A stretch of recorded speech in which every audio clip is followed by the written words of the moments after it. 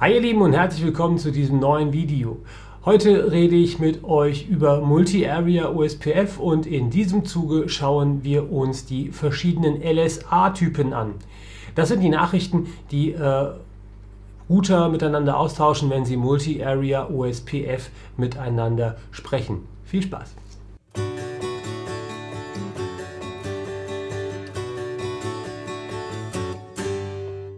Ja, ihr Lieben, heute wollen wir uns über die sogenannten LSA-Typen unterhalten und ich möchte euch etwas zu verschiedenen LSAs erzählen, unter anderem eben äh, welche Router die Dinger bauen und wie sie dann eben äh, ja, geflutet werden in den verschiedenen Areas. Ähm, LSAs vom Typ 1, fangen wir mit denen erstmal an. Ihr seht schon hier unten, hier steht Type 1, ne, Typ 1 LSAs. Das sind solche, die von allen Routern von wirklich allen Routern in einer Area äh, erstellt werden oder äh, für diese Area, in der sie sich äh, befinden, erstellt werden und äh, die also dann in der Area geflutet werden. Das heißt also, dieser Area Border Router wird für die Area hier ein Typ 1 LSA äh, fluten ja, und über seine angeschlossenen Links erzählen und er wird hier für Area 0 auch für dieses Interface für das rechte Interface eine äh, entsprechende Nachricht generieren, ja, ein Link State Advertisement und es auch in Area 0 fluten.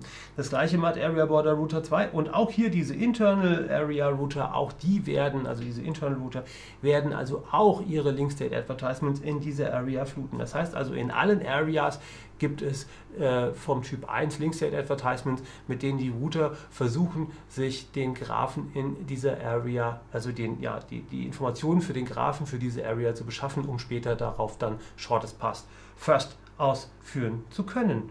Ja. Dann gibt es aber nicht nur die vom Typ 1, sondern es gibt eben auch LSAs vom Typ 2. Geh doch mal weg mit deiner blöden Markierung da vom Typ 2. Die sehen wir hier. Was sind Typ 2 LSAs?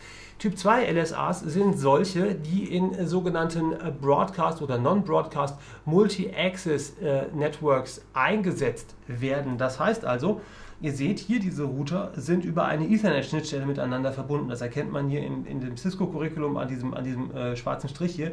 Das heißt also, eigentlich sitzt da wahrscheinlich irgendwo ein Switch dazwischen oder so etwas. Und das gleiche ist hier eben auch der Fall. Wenn das so ist, das habe ich euch schon in meiner Videoreihe zu USPF erzählt, dann wird ja ein sogenannter Designated Router ähm, entsprechend äh, gewählt.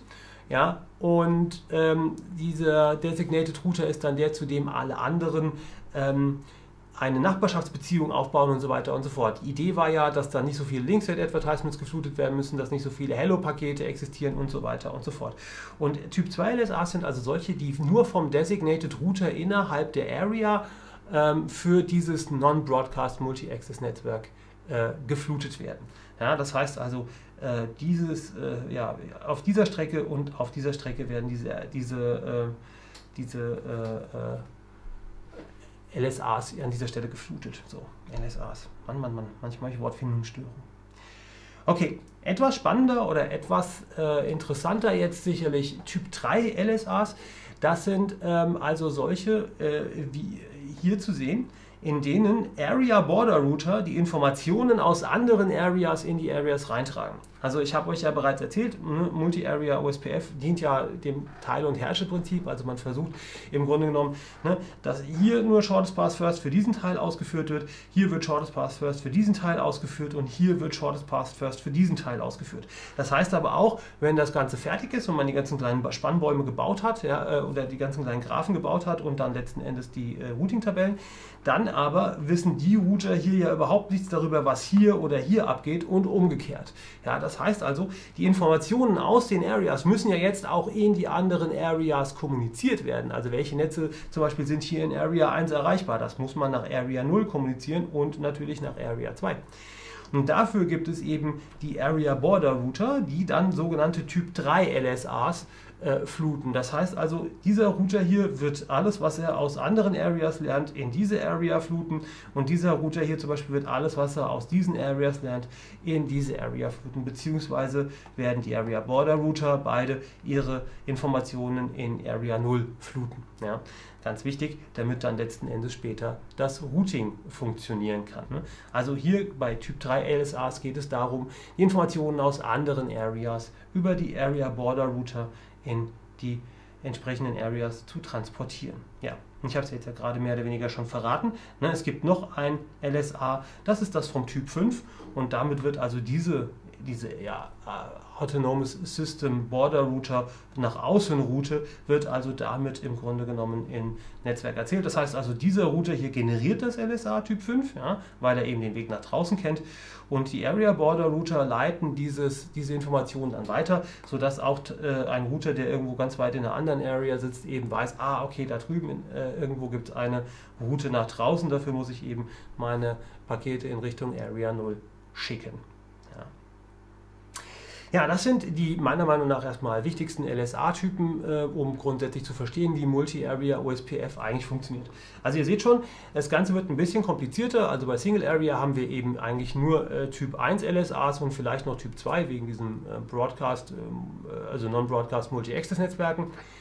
Und wenn ich Multi-Area OSPF habe, da habe ich auch immer ganz viele verschiedene andere ähm, äh, LSA-Typen, die ich eben auch noch betrachten muss und die ich vielleicht auch, wenn ich zum Beispiel mit Wireshark oder so mein Netz analysiere, die ich dann vielleicht auf einmal finde. Ich will euch noch ein bisschen was zu erzählen zu den Routenarten.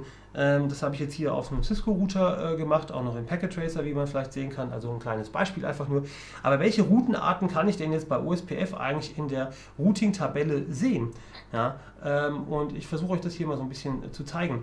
Also generell seht ihr, hier gibt es erstmal Routen mit einem O vorne dran. Ne? Das sind also solche, die per USPF von einem Router in der gleichen Area irgendwann mal gelernt wurden. Ja? Das heißt also, das ist eine Route ja, in der gleichen Area. Dann habe ich so eine noch hier und hier. Ja? Also Route zu entferntem Netz in der eigenen Area. Ja. Als weiteres sieht man, dass dieses O aber auch durchaus mit einem IA gekennzeichnet und erweitert werden kann. Das bedeutet also, dass diese Route eine sogenannte Inter-Area-Route ist. Das heißt also, es ist eine Route zu einem entfernten Netz in einer anderen Area. Ja, Route zu entferntem Netz in, ich sage jetzt mal, fremder in Anführungsstrichen, ne? Area. Also nicht in der eigenen, sondern in irgendeiner anderen Area gibt es also ein Netz 10.10.0.0 slash 18 jetzt in dem Fall. Ja, das ist also eine sogenannte Inter-Area-Route, genauso die zwei hier unten. Das sind also Netze, die in anderen Areas in diesem OSPF-Netz äh, vorhanden sind oder existieren. Ja, und zum Schluss, das habt ihr euch sicherlich schon gedacht, hier unten ist eine Route, da steht auch ein O vorne, das heißt, die ist von OSPF gelernt, aber dann steht da ein Sternchen. Sternchen, das wissen wir vielleicht noch von den statischen Routen. Ah, Moment mal, von meinem Video dazu, Sternchen bedeutet irgendwie Default-Route. Ne? Seht ihr auch hier schon, ne? 4 mal die 0 slash 0, das ist also eine Default-Route und hier steht jetzt also E2, ja, das ist also eine External Route vom Typ 2, so wird das äh, auf Cisco-Routern dargestellt. Was eine External Route vom Typ 1 ist, habe ich nie so richtig rausgefunden. Ähm, aber das hier bedeutet also, das ist eine Route aus dem autonomen System nach draußen, also aus dem OSPF-Netz heraus. Ja. Also das ist eine Route, upsie, Route aus dem OSPF-Netz heraus. Ja. Also nichts andere Area oder sonst irgendwas, sondern einfach ganz raus aus meinem OSPF-Netz geht es mit dieser O-Stern-E2-Route. Ja.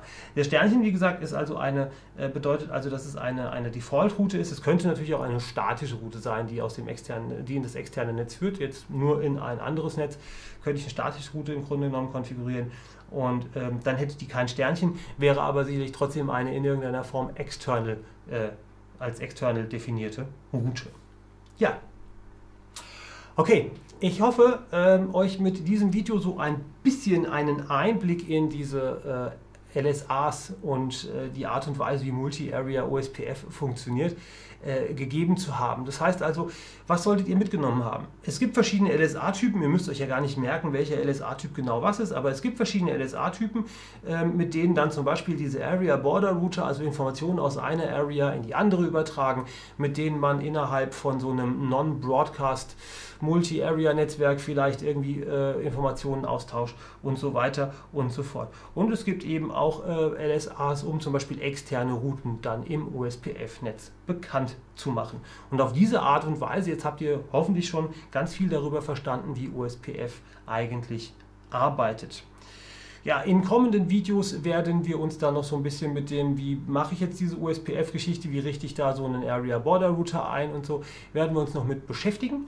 Ähm, ansonsten habe ich dann noch vor, mit euch so ein kleines Video zum Thema OSPF Troubleshooting mal zu machen. Also was ist, wenn ich eine OSPF-Implementierung habe, wie, und da funktioniert irgendwas nicht, wie komme ich jetzt hier vielleicht den Fehlern ein Stück weit auf die Schliche. Ja, ihr Lieben, wenn euch das Video gefallen hat, dann lasst mir auf jeden Fall einen Daumen nach oben da und drückt doch auf den Abonnieren-Knopf, vielleicht auch, um euch meine anderen Videos, die ich in Zukunft hochladen werde, anzusehen. Ansonsten äh, freue ich mich, wenn ihr beim nächsten Mal wieder dabei seid und einschaltet und äh, wünsche euch einen schönen Tag. Bis dahin, ihr Lieben, macht's gut.